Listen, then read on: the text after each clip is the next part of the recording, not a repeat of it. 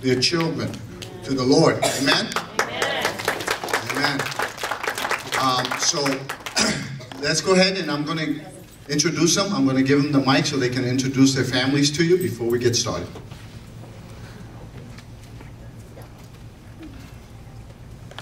Hello, my name is Darwin Wallace. This is Chase Wallace. This is Jeremiah. I mean Jada Reed. Sorry. Age is uh, five, six, and this is Jeremiah. Um, this is one years old. hey, sorry, I'm shy.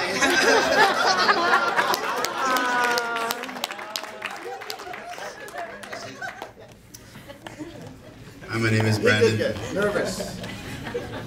This is Marley, and this is Christian. They're getting dedicated, and this is my wife, Bonnie. Good morning. Uh, my name is Romano Nazario. This is my wife, Elizabeth. This is my oldest daughter, Marcel. She'll be seven next Saturday. And this is my youngest daughter, Rachel, and she's five.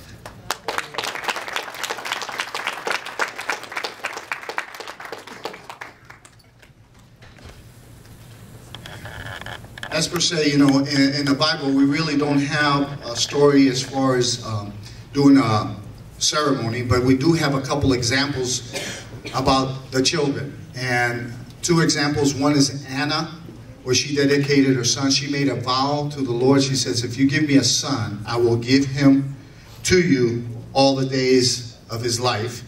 And of course, we also know about Mary and Joseph, where they presented Jesus Christ, the baby Jesus Christ, in Jerusalem to the Lord. Now, this dedication act, this is to recognize the authority of Jesus Christ. And this is a public statement that these parents will train up their child in the Christian faith and instill in them the Lord of Christ. Yes. So, parents, do you promise that you will love your child or your children more than your own life? Will you pray with them and for them? Will you instruct them faithfully in the doctrines of the Christian faith?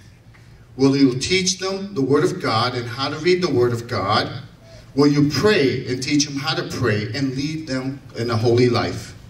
Will you take them to the house of worship, the church, and attend its services? And will you do all that is in your power to bring them to the knowledge of Jesus Christ as Savior and Lord? And your answer is? I will. Do. I pronounce you man and family. uh, that's, that's great. I thought that was great. They said I will, they didn't know that, you know? So now I turn to you, the church, and I ask this. As a church, we bear the responsibility to these families. Will you pray for them? Will you encourage them as they grow together? And do all that is in your power to assist the children coming to know Jesus as their Savior and Lord. If you will make that covenant with this family, will you please stand up so we can pray for them?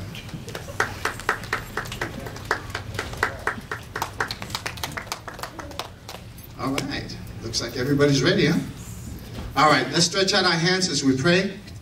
Leaders, pastors, can you please anoint the children as we as we pray for Dear Heavenly Father, we just come before you. Lord God, what an awesome day, Lord God, as we present the children to you.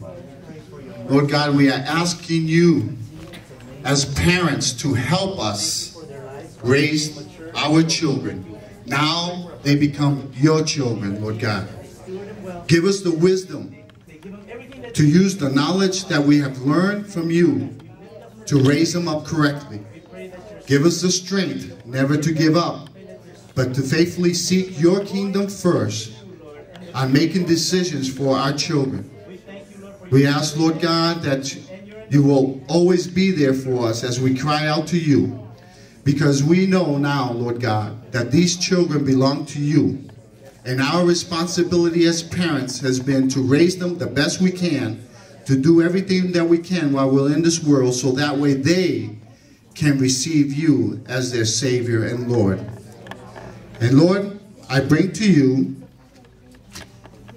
Jada, Chase, Jeremiah, Marley, Christian, Rochelle, and Mercer. I dedicate them to you, Lord. May you bring joy to their hearts. May you keep them healthy and strong. May you send the angels, their angels, their personal angels, to watch over them and protect them all the days of their life. Wherever they go, whether they're in school or playing with their friends, continue to bring those friends that will continue to encourage them and the families to, to always obey them as well as to always seek God, to know God loves them. God loves them and He wants them to be healthy, strong, and prosperous in this world. So that way the day will come when they will become uh, just an army of children faithfully and obedient to seeking and building the kingdom of this world. In Jesus' name, we all prayed and said, Amen. Amen. Amen. Congratulations. You may go. Thank you.